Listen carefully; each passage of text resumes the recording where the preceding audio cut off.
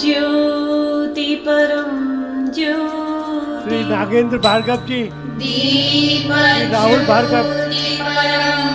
वासुदेव गर्ग मीता मीरा गोयल। मुरारी लाल गर्ग। श्री अरुण अग्रवाल। कृपया। अशोक चक्रधर जी। श्री वेद प्रकाश जी। वेदिक जी। वेदिक जी। कृपया। दीप प्रज्वलन। आरोग्यं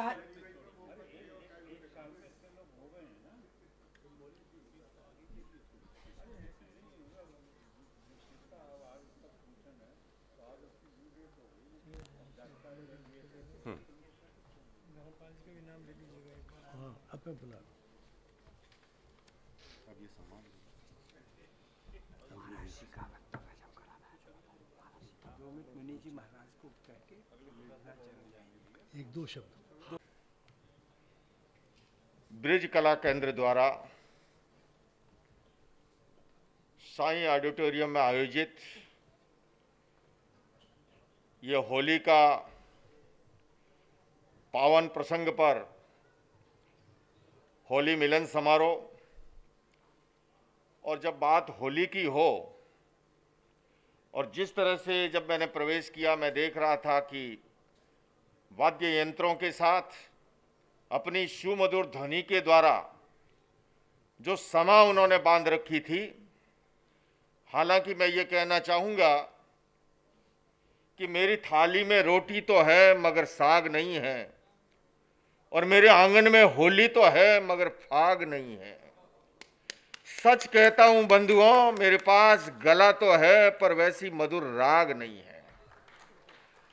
और मैं ये जोखिम नहीं उठाना चाहूँगा कि जब आप स्वर लहरियों का आनंद लेना चाह रहे हो और मैं कोई संगीत छेड़ूं, हालाँकि एक इसी तरह से शास्त्रीय संगीत का बड़ा कार्यक्रम था, ऑडिटोरियम में हाउसफुल, जैसे मैं यहाँ भी देख रहा हूँ, लगभग कुर्सियाँ भरी हुई है और बड़ी विशेषता इस ऑडिटोरियम की कि यहाँ लक्ष्मी पुत्र भी है, यहाँ कलम के धनी सरस्वती पुत्र भी है और अध्यात्म के क्षेत्र के व्यक्ति को भी आपने याद किया है।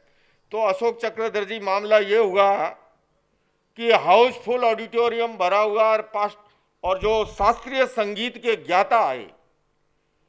और शास्त्रीय संगीत में आप जानते हैं, जब पहले कई देर तक आलाप चलता है, आँख मूंद करके उन्होंने देखा, इतना ऑडिटोरियम हाउसफुल भरा हुआ और उन्होंने आलाप छेड़ा। और धीरे धीरे धीरे धीरे जैसे ये जा रहे हैं ना भाई साहब, आ रहे हैं, जा रहे एक एक खिसकना शुरू हुआ। और जब तक उन्होंने आँख खोली तो केवल एक व्यक्ति शेष था। सोचा कोई बात नहीं, देखो, माइकल जैक्सन पॉप संगीत का जमाना है, कम से कम एक व्यक्ति तो मिला जो मेरी कला का भी कदर करना जानता है। जब ये बात कही तो उसने कहा, भाई साहब, ये आपके पैरों के नीचे जो दरी है, वो मेरी है, माया समेटो तो मैं इसको लेके चलूँ। तो मैं आज के दिन आपके रंग में भंग नहीं डालूँगा, किंतु जब अशोक चक्रधर जी आप सभी हो तो मेरे भीतर का भी बचपन जाग रहा है। मैंने भी कविताओं की चार छः पुस्तकें लिखी, मेरी पहली पुस्तक आई थी मूल्य मुस्कान का। और उस समय शंकरदयाल शर्मा जी राष्ट्रपति होते थे, उन्होंने उस प्रथम पत्री का अनावरण किया। तो उसकी पहली कविता अगर आप कहो तो मैं सुनाऊं।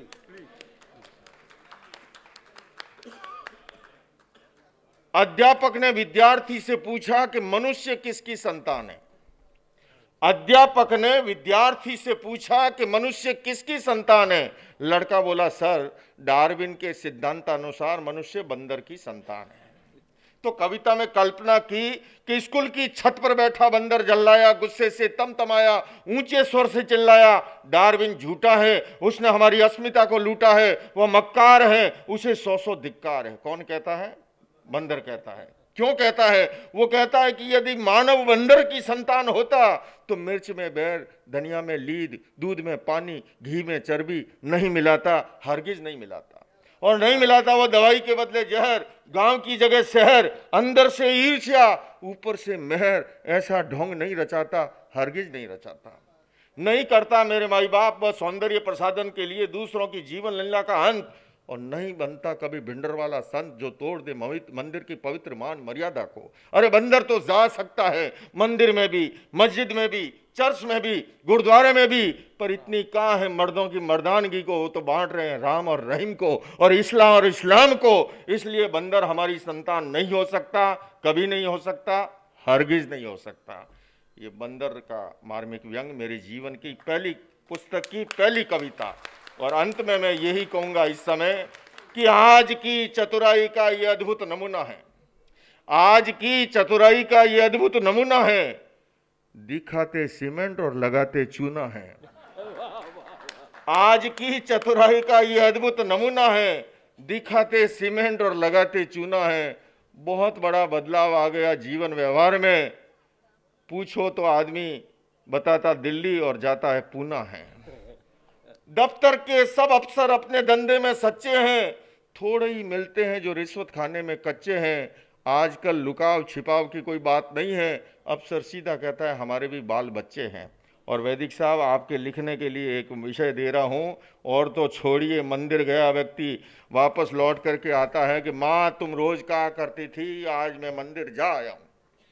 माँ, तुम रोज कहा करती थी, आज मैं मंदिर जा आया हूँ और पुजारी से झपट कर भगवान का प्रसाद भी खा आया हूँ। आज पता लगा मंदिर जाने में फ़ायदा ही फ़ायदा है। वो देखो बाटा के प्रसिद्ध बूट भी उठाकर ले आया हूँ।